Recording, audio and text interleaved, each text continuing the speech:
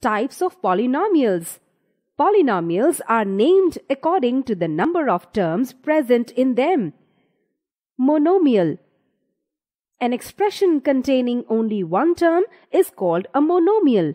Example 5x minus mn 3y square 1 by 2 xy are monomials.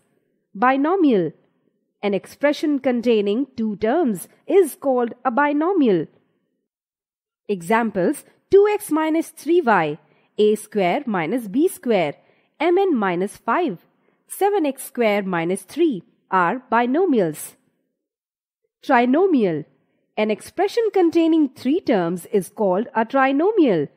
Examples 3x plus 2y minus z, p square plus q square minus r square, 3a plus 5p plus 8p square are trinomials.